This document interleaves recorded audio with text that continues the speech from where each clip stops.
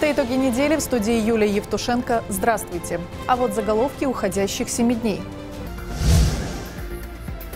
Интернет-торговля, вклад в экономику и рост зарплат. За первое полугодие реальные доходы белорусов увеличились. Насколько? Как дома. В городе прошел мониторинг места жительства молодых специалистов. Чтобы им было комфортно. Всем ли довольны новоприбывшие? Время сборов. В Бобруйске активно продолжается подготовка к школе. Традиционно костюмные ткани – это поливискозные материалы. Что в тренде? Сезонный всплеск. С теплой погодой в Бобруйск пришла энтеровирусная инфекция. Сыпь, а, повышение температуры. Как предотвратить заболевание? От всей души 15-й фестиваль творчества для людей с особенностями «Капельки добра в море здоровья» прошел в Бобруйском районе. Стараемся их раскрыть, помочь им. Чем удивляли участники? Отчаянная просьба, зашкаливающий показатель и аграрный призыв. Польша собирается призвать на службу около 200 тысяч фермеров, когда планирует проводить сборы. Александр Лукашенко принял ряд кадровых решений. Согласованы новые председатели Волковыского, Любанского, Быховского и Осиповического райисполкомов. Во главе последнего стал Андрей Дубинчик, ранее занимавший должность главы администрации Ленинского района Бобруйска.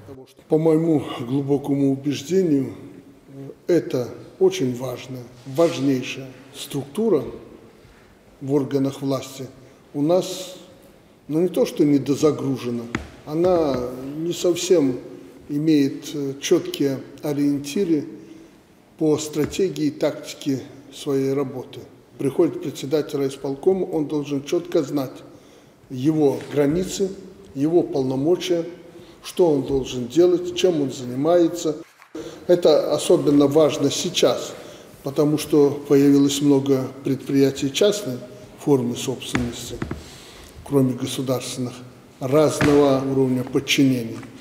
И э, некоторые руководители, которые ну, фактически являются хорошими шефами для предприятий, особенно сельскохозяйственных, считают, что вот это мое, моя собственность, и туда председатель райисполкома якобы не должен вообще заходить и курировать какие-то, тем более, вопросы. Витебская, Гродненская, Минская и Могилевская области гостеприимно встретили новых руководителей. Глава государства отметил, в регионах необходимо навести порядок. Ожидает Александр Лукашенко большой работы и от правительства в целом. Крыша над головой, рабочий вопрос и онлайн-площадки. Доля интернет-торговли в республике превысила 8% розничного товарооборота. В чем причины роста?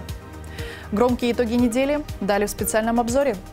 Иностранные инвесторы в первом полугодии вложили в экономику Беларуси более 4 миллиардов долларов. Основными спонсорами организации республики стали субъекты хозяйствования Российской Федерации, Кипра и Объединенных Арабских Эмиратов. В свою очередь, Синекая направила за рубеж почти 2,5 миллиарда.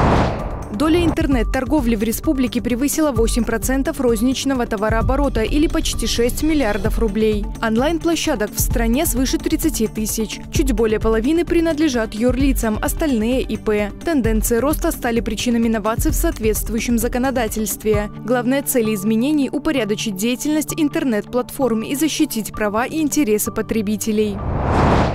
За первое полугодие реальные доходы белорусов увеличились на 9,6%. В общем объеме большую часть занимает оплата труда – 65%, пенсии, пособия и стипендии, другие выплаты – 22%, прибыль от предпринимательской и иной деятельности без малого 8%. Статистические данные сформированы за вычетом налогов, сборов и взносов, скорректированы на индекс потребительских цен на товары и услуги. В Беларуси планируют ввести новые льготы при покупке жилья. Главные изменения предусмотрены для жителей сельской местности. Для этой категории граждан при строительстве, реконструкции или приобретении квадратных метров намерены увеличить размер займа до 100% стоимости общей площади. Также в проекте указа есть преференции для молодых семей и специалистов, семей с детьми-инвалидами. На начало августа в республике заявлено более 160 тысяч вакансий. Из них почти 11,5 с предоставлением жилья. Спрос на кадры по рабочим профессиям 67% от общего числа. На учете в качестве незанятых в экономике состояло чуть более 4 тысяч человек. Больше всего людей в поиске работы в возрасте от 50 до 54. На особом контроле в городе прошел мониторинг мест жительства молодых специалистов. Многие новоприбывшие работники уже поступили на места распределения. Вместе с тем у иногородних поднимается вопрос жилплощади. Школьные педагоги, воспитатели детских садов, сотрудники сферы здравоохранения чаще всего заселяются в общежитие. Представители городской власти, ЖРЭУ и Управления образования регулярно проводят мониторинг условий. Я работаю тут совсем недавно, с 1 августа. Вот, э, эту комнату мне предоставили, меня все устроило только осталось обустроиться. Есть и те, кто успел получить арендное жилье. Семья медиков Алексея и Ирины Горячков обживается в трехкомнатной квартире на улице Народного Единства. Заместитель председателя Бобруйского горисполкома пообщался с молодежью, расспросил об условиях. Мы со своей стороны, конечно же, э, как власти городские, будем делать все для того, чтобы вот их потребности первоначальные выполнить исполнить максимальные их желания для того, чтобы им было комфортно, чтобы Бобруйск был городом для жизни. Владимир Книга отметил, проведенный мониторинг – лишь начало. Для новых работников важно создать все необходимые условия для качественной и комфортной жизни. Предучебная суматоха. В области активно работают порядка 60 школьных базаров и ярмарок. Самые крупные организованы в Могилеве и Бобруйске. Покупателям предлагают широкий ассортимент одежды и обуви, рюкзаков, письменных принадлежностей и констоваров. В новых трендах разбиралась Елизавета Житкова. В этом году только в области для школьников представлено более 150 моделей одежды делового стиля, свыше сотни рюкзаков и ранцев, около 80 обуви. Цены не кусаются. Брюки от 40 рублей, блузки и платья от 45. Кардиганы, жилеты и сарафаны можно найти от 30. Новый тренд э, на данный момент – это бомберы которые на кнопках, естественно. Ну, то есть как на мальчиков, так и на девочек. Синие и черные. В основном синие во всех школах. Львиная доля – товары отечественного производства, отдельные позиции – импорт. Чаще это канцелярия. Нововведение года – обновленный дизайн дневников. Приобретать необходимо вариант, изданный в 2024 стоимость 3,50. Простые карандаши от рубля и выше, шариковые ручки от 80 копеек, тетради на 12 листов от 19, полуобщие – рубль 60. Набор из 10 обложек чуть дороже 2,5 рублей. Смотри еще какой класс. То есть в младшую школу, конечно, нужны принадлежности возможность. Это те же самые альбомы для рисования, какие-нибудь карандашики, краску, ну и в принципе все. Этого хватит. Для старших классов идет, опять же, тоже классика. Это пару ручек, полуобщие, общие тетради. И, конечно, все нужны обложки. У нас идут именно белорусские наборы, они все цветные. Ранцы можно приобрести от 20 рублей. Рюкзак обойдется в 45. Цветовая гамма разнообразна. В тренде рисунки с 3D-эффектом. В том году они вообще покупали только черное, поэтому в этом году мы как бы немножко и побольше привезли черного, потому что она в том году была как-то все яркое такое, разнообразное.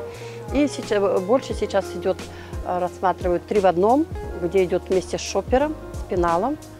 Есть пять в одном и как бы рассматривают еще сумка-рюкзак. Книги, тетради, ручки, атласы, контурные карты, краски и обложки. Полки ломятся от ярких интересных предложений. Задача родителей – подобрать все самое лучшее. В нелегком деле поможет сказ. Широко представлена в магазине художественная, развивающая и обучающая литература на любой возраст. Канцелярия. Приобрести также можно настольные игры и сувенирную продукцию. Перед началом учебного года я бываю в магазине сказа для того, чтобы купить канцелярские для своей работы, а также для детей в школу. Вот пришла с настроением э, закупочным. Вот каждый год мы приходим с кассы и покупаем здесь. Нам здесь выгоднее почему-то, чем ходить по палаткам и что-то отдельно покупать. Тут пришел, все сразу собрали. Мы готовим вот мою племянницу к школе. И здесь мы можем закупить разные констовары. И очень белорусская продукция нам нравится. Мы с удовольствием покупаем. В поисках идеальной формы на помощь приходит славянка. Радует широким ассортиментом, качеством и актуальными трендами. Подобрать пиджак, брюки и жилет по душе сможет даже самый привередливый покупатель. Фабрика уже отшила 70 тысяч единиц одежды. Выбор есть, цена приятно удивляет. Комплект из верха, низа и рубашки обойдется всего в 150 рублей. Конечно, традиционно очень большое производство у нас отдельно брюк для мальчиков и для девочек. Весь ассортимент начиная от юбок, кончая куртками, можно приобрести, одеться школьникам с головы до ног. Нейтральные цвета, которые не мешают восприятию учебного процесса. Это темно-синий главный цвет, черный, темно-серый. Ну, где-то пробегает темный бордо еще. Блуза, джемпер в «Славянке» от 28 рублей. Жилеты, брюки от 15, юбки от 30. В тренде трикотаж, поливискозные костюмные ткани. Акцент на удобство и комфорт. Все материалы проверяются в лабораториях на соответствие стандартам качества. Такая школьная форма не только красивая картинка, но и гарант надежности. Хорошие цены такие, ну, короче, отлично нравится. По 30 рублей штаны. Мне очень нравится, но мы пришли с ребенком, потому что у нас очень сложная проблема в том, что он должен выбрать сам обязательно, иначе носить не будет. Приобретаем э, жилеточку и костюм в цветах нашей именно школы, темно-синий. Школьный ассортимент будет представлен и в крупных торговых организациях. Магазинах, универмагах и торговых центрах для удобства покупателей предусмотрена оплата картами рассрочки. Для многодетных семей ежедневный дисконт в 15% при предъявлении соответствующих документов. Елизавета Житкова, Станислав Чечерин. Итоги недели. Сезонная зараза. В летний период в городе фиксируется рост различного рода заболеваний. Одной из самых распространенных – энтеровирусная инфекция. Как она проявляется, насколько затяжной процесс лечения и есть ли осложнения? Подробности у медиков узнавал Роман Костюков. Пик купального сезона, реализация овощей и фруктов, продажа бахчевых культур в разрезанном виде, недостаточная гигиена рук. Все это способствует росту заболеваемости энтеровирусной инфекцией. В большинстве случаев недуг протекает легко, однако могут иметь место серьезные осложнения. Тяжелое поражение респираторной и центральной нервной систем, почек, органов пищеварительного тракта. Энтеровирусная инфекция характеризуется такой клинической картиной. Это сыпь, а, повышение температуры, в данном случае нередко это боль в горле, язвочки какие-то могут появляться. Поэтому при появлении таких симптомов нужно обратиться к врачу, регистрироваться среди взрослых или детей. Поэтому нужно описывать, э, где вы были, что вы кушали, не забывать, что передается от больного и от носителей. От инфекции чаще всего страдает младшая категория граждан. Неокрепший детский организм не готов сталкиваться со многими вирусами и бактериями. Виной может стать питание, нахождение в местах скопления потенциальных носителей. При появлении первых симптомов необходимо незамедлительно обратиться к специалистам. Энтеровирусная а, инфекция относится к группе сезонных заболеваний. И, конечно же, дети к нам поступают.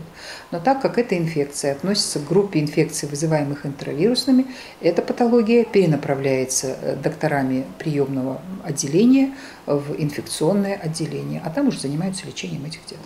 В Бобруйске лечение энтеровирусов происходит на базе инфекционного отделения Центральной больницы. Процесс проводит симптоматически в зависимости от проявления инфекции. Главное требование – соблюдение постельного режима. На сегодняшний день а, пациенты с энтеровирусной инфекцией поступают довольно-таки часто.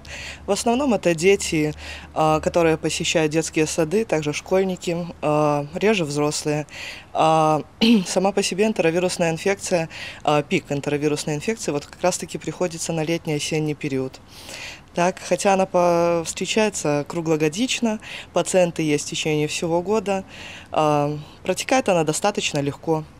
Инкубационный период составляет от 3 до 10 дней. Необходимо помнить, главным источником становится носитель, поэтому под угрозой как дети, так и взрослые. Чтобы не заразиться самому и не подвергнуть опасности родных и близких, врачи рекомендуют соблюдать простые правила. Тщательно соблюдать гигиену рук, мыть фрукты и овощи, избегать контактов с людьми с признаками респираторных инфекций, а также купаться только в отведенных для этой цели местах. Ваше здоровье в ваших руках. Роман Костюков, Максим Калинин, Станислав Чечерин. Итоги недели.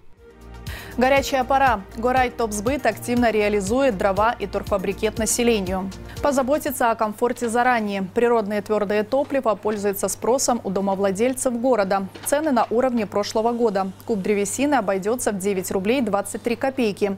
Тонна турфабрикета чуть больше 29. Горай Топсбыт обслуживает Бобруйск, Осипович, Глус, Кировск, Кличев и районы. Текущем году были заключены договора с Кличевским лесхозом, Осиповическим, конечно же, Бобруйским и Глузским на поставку дров в адрес нашего филиала. Для приобретения топлива по фиксированным розничным ценам необходима справка о составе семьи и занимаемой жилплощади, паспорт с регистрацией в домовладении, топливная книжка. Выписка производится в будние дни с 8 до 17, каждую третью среду месяца до 19. К слову, филиал в поисках квалифицированных сотрудников. 15-й фестиваль творчества для людей с особенностями «Капельки добра в море здоровья» прошел в Бобруйском районе. Песни, танцы, стихи продемонстрировать свой талант смог каждый. А в атмосфере добра и поддержки Виталий Гаврусев – Местом притяжения стала деревня Петровичи. В этом году продемонстрировать свои таланты приехали более 100 участников. Сотрудники Дома народного творчества с радушием распахнули двери, провели экскурсии по местному этнографическому музею Спадшина и организовали на лесной поляне у Дуба, где днем и ночью бродит кот ученый, выставку декоративно-прикладного искусства. Есть вот такая площадка, где ребята снова видятся, новые какие-то знакомства, а, новые какие-то связи для них интересные. Поэтому, конечно же, это очень нужно, в первую очередь для них. Мы можем подарить этим ребятам какую-то часть праздника, радости, поделиться хорошим с ними настроением. В ярком празднике добра приняли участие люди с особенностями, представляющие территориальные центры социального обслуживания населения Бобруйска и района. К мероприятию также присоединились гости из Кировска. Для многих фестиваль настоящая минута славы. Основная задача данного мероприятия является помочь социализировать людей в общество, чтобы люди с инвалидностью могли проявить свои таланты, познакомиться, обрести новых друзей. Праздник творчества, дружбы и добра как глоток свежего воздуха. Наталья Круг воспитывает особенного ребенка. Для сына Евгения это прежде всего новые впечатления, которых так не хватает в будничной жизни. Когда нас приглашают, мы всегда едем. Мы дома не остаемся, мы стараемся не пропускать. Зрелищное выступление подготовили и юные актеры студии «Маска» детского дома. На импровизированной сцене развернулась настоящая театральная постановка «Буратино в мире сказок». Ребята пели, танцевали и дарили зрителям радость и позитив. Мы очень переживали, волновались. Э, ребята готовились, репетировали. Стараемся их раскрыть, помочь им и адаптироваться к этому миру и, конечно, реализовать себя в творчестве. Фестиваль «15 лет» дает возможность каждому участнику зарядиться позитивной энергией, найти вдохновение. Маленькие капельки добра и искусства превратились в море любви, радости и творческого счастья. Виталий Гаврусев, Максим Калинин. Итоги недели. Тотальный дефицит, послание из прошлого и принять меры. Сотни юристов со всего мира направили Джо Байдену открытое письмо. О чем говорится в документе? Далее громкие заголовки мировых новостей. Цены на газ в Европе обновили максимум, превысив отметку в 460 долларов за тысячу кубометров. Напомним, ранее из-за отказа Брюсселя от российских ресурсов в начале 2022 Евросоюз оказался на грани энергокатастрофы. Стоимость голубого топлива, как и тарифы на услуги ЖКХ, достигла максимальных показателей, которые держали планку на протяжении практически года. Открытое письмо к Байдену с призывом прекратить применение односторонних экономических санкций направили сотни юристов со всего мира. В документе отмечено, такие меры воздействия незаконные и лишь дестабилизируют мировую ситуацию, приводя к финансовой нестабильности, голоду и ограничению доступа к лекарствам и товарам первой необходимости. Ранее американские СМИ писали, США сегодня вводят в три раза больше санкций, чем любая другая страна или международный орган. Польша собирается призвать на службу около 200 тысяч фермеров. Сборы планируют проводить осенью и зимой, когда работники сельхозсектора не будут заняты заготовкой продукции. Командование хочет обучить аграриев начальной военной подготовке. Как заявили в ведомстве, учения могут проходить день, месяц и даже целый сезон. Сообщается, к отбыванию воинской повинности допускаются мужчины до 55 лет. В Литве намечается тотальный дефицит наставников. Учебным заведениям Вильнюса не хватает полтысячи педагогов. Серьезный недобор учителей точных наук. Никто из новых абитуриентов не будет изучать физику, и всего три студента выбрали специальность преподавателя химии. Прежнее поколение 40 пенсионеров все еще обучают математике. Однако на замену им придут лишь 9 человек, чего явно недостаточно. Ученые расшифровали вавилонские таблички, возраст которых достигает 4000 лет. Однако сообщения на них не наполнены оптимизмом в отношении будущего. Согласно свежему исследованию, четыре глиняных артефакта с клинописными надписями предсказывают несчастья, такие как смерть царей и упадок цивилизации. Специалисты отмечают, вавилонцы прогнозировали события, основываясь на движении Луны, включая затмение. Такими уходящие семь дней увидели корреспонденты «Бобруйск-360» и я, Юлия Евтушенко. Новая неделя, новые итоги. Увидимся!